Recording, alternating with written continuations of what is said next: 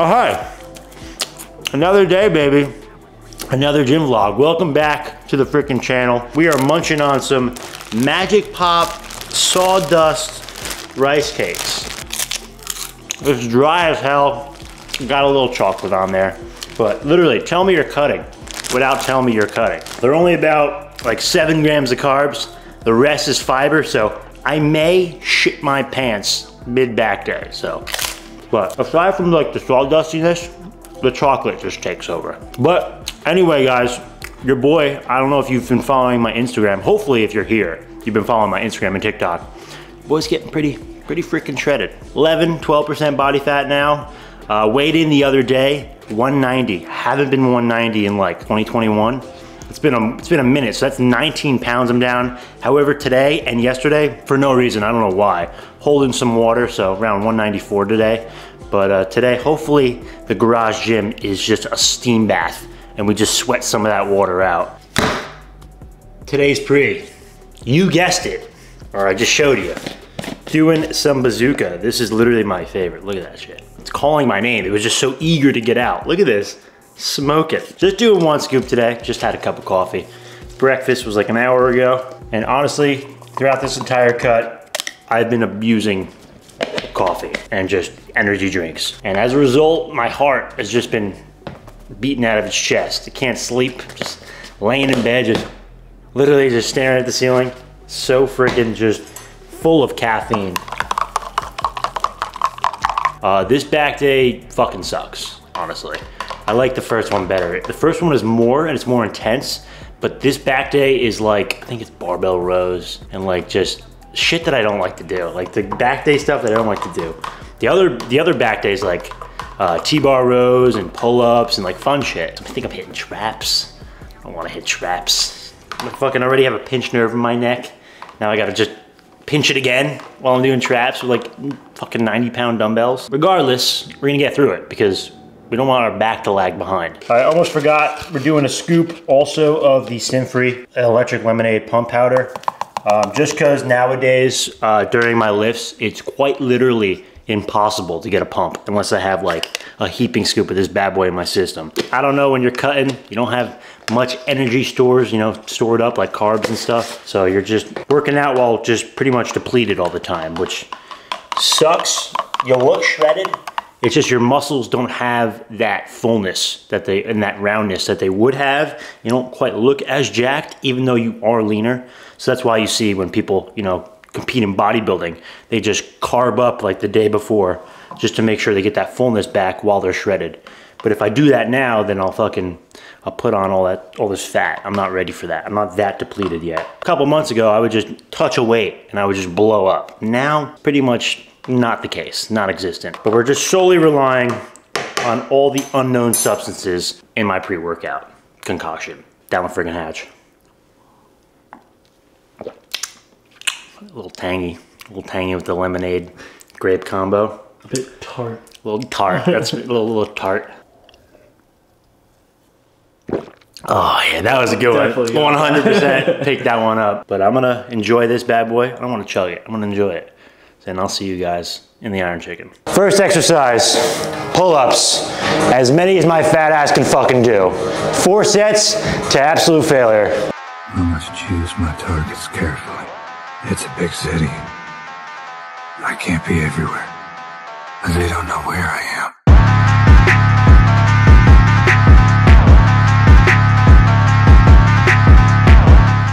am. Set two, baby.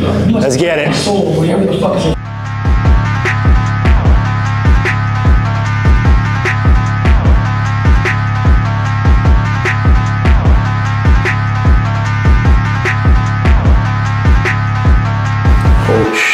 Shit, the vans are coming out even more. Are they, dude? Look at that. I'm needed, I can't see it. You're blocking the mirror. that light hits the Hold it. Oh my god. Who let Spider-Man in the house? That's fucking insane. As a tool, they think I'm hiding in the shadows. But I am the shadows.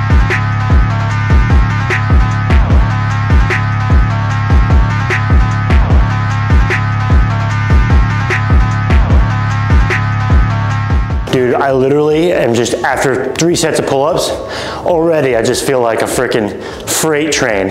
I am so pumped right now. That's, that's just a great sign, honestly. But a little tip, guys, a lot of people have struggles feeling their movements, like their row movements, just feeling their back in general while they're lifting.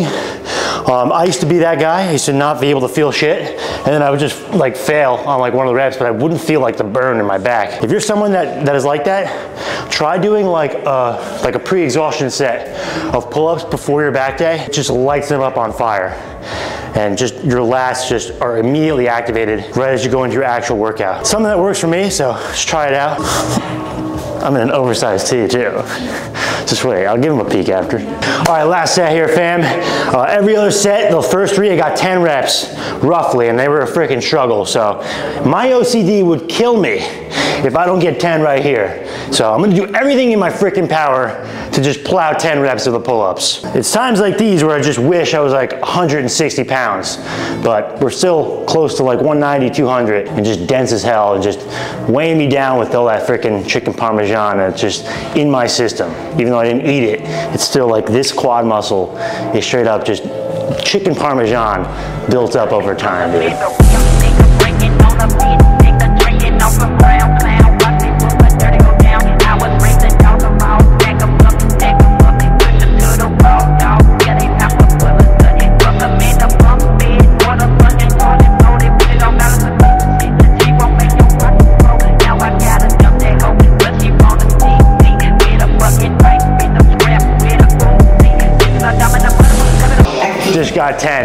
By the skin of my dick. Dude, that was a grinder. My hands were slipping. You see that, bro? My hands started here and they ended up here. Need some chalk. Calluses ain't doing it anymore. These calluses used to be like fucking Spider-Man grips. Just now, it's freaking summertime in the Iron Chicken. 90 degrees in here. I'm just, just a pool of sweat. It's just building up everywhere. So these things are nice and clammy. But gotta invest in some chalk. Exercise number two. And this one fucking sucks. My least favorite of all time. If you watched me for a while, you already know that. But it's mad effective, and it's been building me into a freaking human just 747 for years now. Going into barbell rows. Just gotta bite the bullet. No going back now. And what I mean by that is there's no going back to our skinny little bitch self that had no back. Now we're just gonna have a fucking clamshell for a back.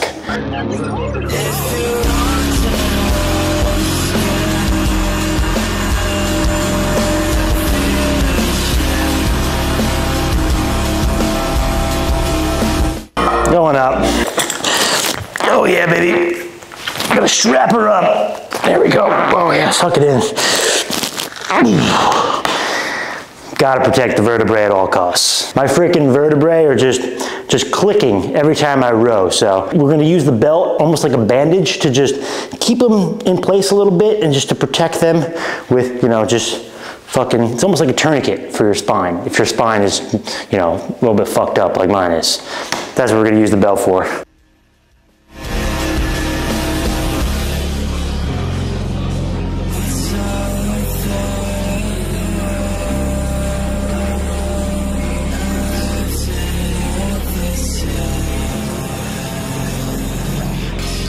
All right, guys, little pro tip here. Uh, a lot of the times what I see when I go to a public gym, uh, when people are doing the barbell row, um, they are just pretty much just ego lifting, which is, is, fine. Everyone likes to ego lift now and again, but they're just pretty much ego lifting to the point where like, they're not even activating their back. I see a lot of people just load up the freaking bar, two, three plates, and they just barely bend over and they do like a little, little bent arm shrug that ain't really activating anything. So my advice, leave the ego at the door. Nobody cares how much weight you're lifting uh, if you fucking look jacked. So if you look jacked, doesn't matter. So you're gonna get the most out of the movement by lightening up the weight. I'm not saying to go light, I'm saying uh, to lighten up the weight for you because heavy weight is just relative. So what's heavy for me could be light for you, vice versa. So just lighten up the weight for you and whatever you can comfortably handle while actually bending over, getting the full stretch in the lats and just completing the full range of motion.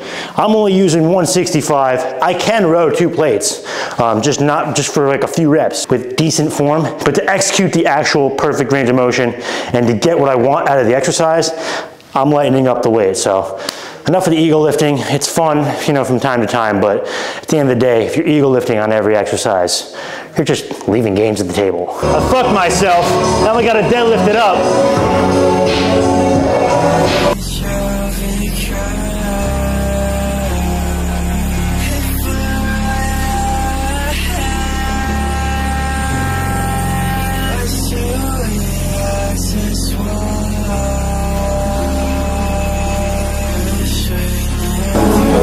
Shit. See, there is a time and a place for ego lifting and form breakdown a little bit. And you saw it right there, that's the end of the set. The last few reps, we're just pushing as hard as you freaking can, that much harder.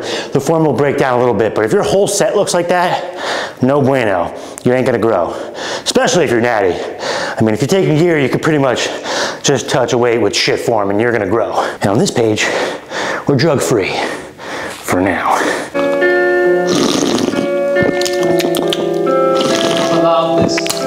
Get a little tired. Need a little DC power up. God, that's good. Injustice, insecurity.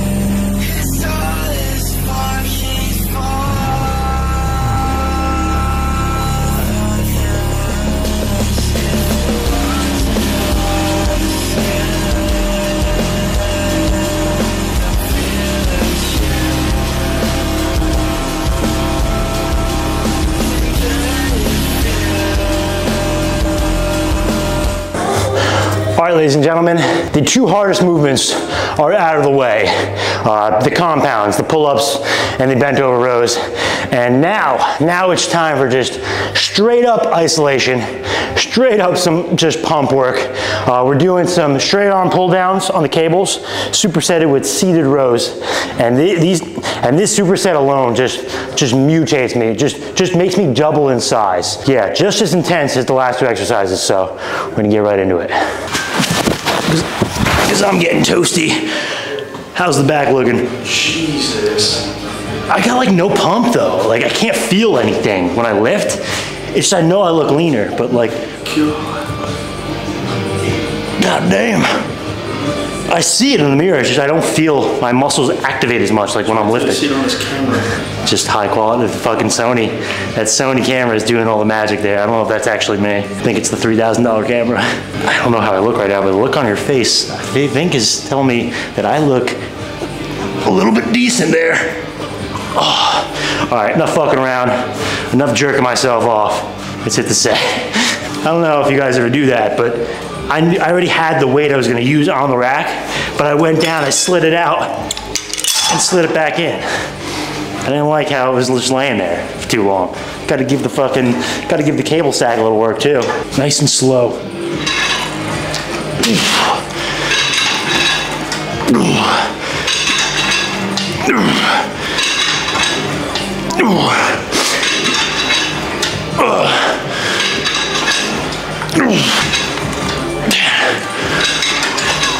Eleven, four more. Three.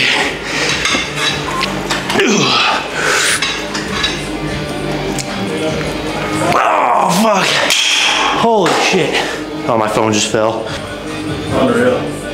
I think, honestly, it might be the golden arrow tank, just because it fits like a glove. And I don't know, it's got a nice open back. Dude, the feathering. All right, second half of the superset, seated rows. Uh, little pro tip here, extra range of motion. Put the foam roller by your feet. An extra couple inches of just stretch and squeeze in those lats. Extra couple inches could just mean the world, honestly, especially nowadays. you know what I'm saying? I'm not talking about the gym.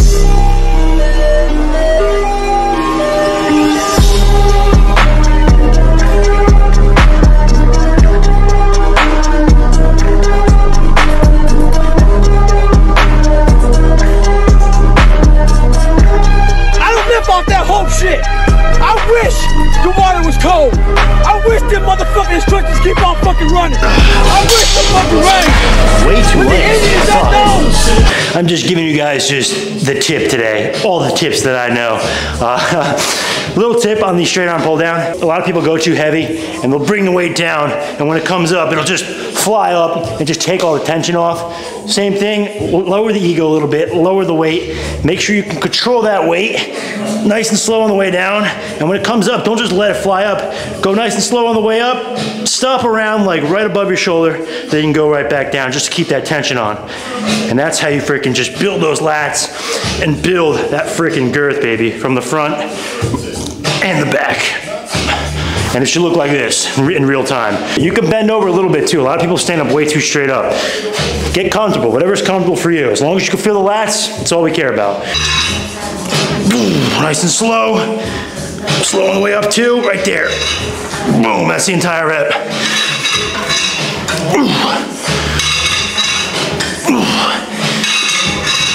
Ah,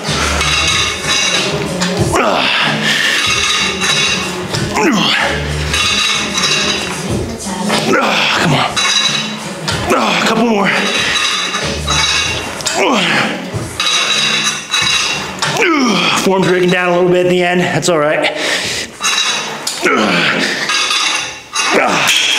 Like I said, at the end of the sets, it's all right when the form breaks down a little bit. Just trying to milk out as much growth as we humanly, as much growth as we freaking can. And that's the end of the game. Strict as hell during the set, and towards the end of the set, it's right to break the form down a little bit just to milk out the extra growth. And the distance is unknown.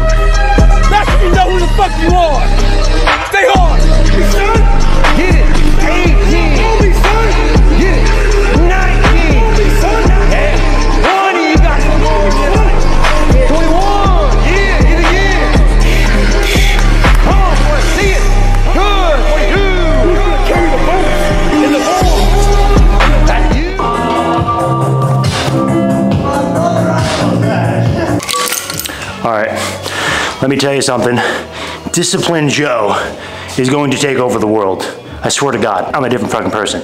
When you commit yourself to something and you just see the results and you're just building momentum, I swear to God, you feel like you just have a just a rush of just it's it's hard to explain. Like it's a, it's a rush of just straight. It's not adrenaline. It's more just it, what I said. It's momentum, and you just feel like you're being pushed by something as you keep getting after it every day, and making those small changes and doing and actually doing the things like you say you're going to do, and check off the things on your to-do list instead of just having them bleed over into the next day. That's what that's what creates like that momentum and that push. It's just discipline and it's stacking those W's. Everything you set out, out to do for yourself, you're just actually doing it. So you're not lying to yourself. Like by not doing it, you disappoint yourself and exactly many defeats every day just fucking kill you, man. Trust me. And they add up. They may not seem big at first. Oh, I'll do that tomorrow, but trust me, the second those start to stack up, it's fucking a detriment to your success. And I haven't let those fuckers stack up at all over the last two months. I've just been a fucking machine, an absolute machine. So Discipline Joe is gonna take over this freaking industry.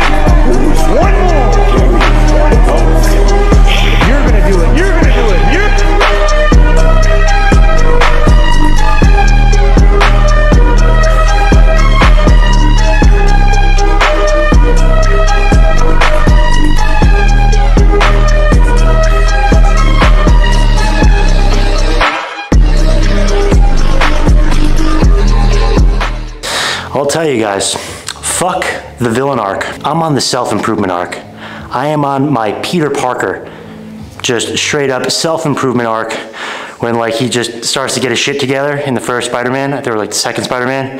Uh, yeah, just reading some books, educating the mind, fucking getting myself into shape, getting shredded, uh, attacking, you know, what I have to attack in terms of business and, you know, editing and all that stuff.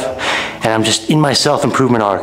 The villain arc, fuck that. We were in a villain arc for a while. It starts to fill you up with hate. And we don't want any hate. We want positive vibes, positivity, positivity through our freaking metamorphosis is what we're chasing. Chase the self-improvement arc. No more villains. We don't want to. We don't want to be villains. We want to be fucking Clark Trent. We want to be Spider-Man, Thor. We want to be the good guys. I don't want to be the bad guy. Fuck that. Everyone hates the bad guy.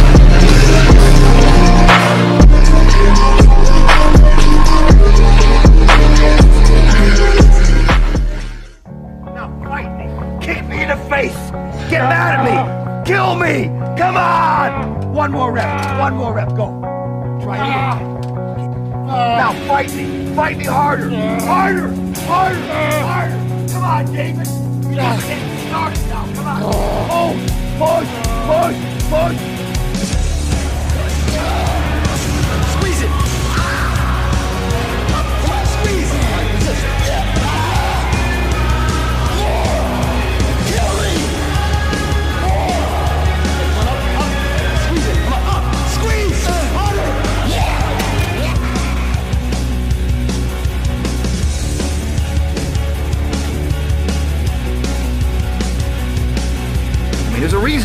Squat. It's hard.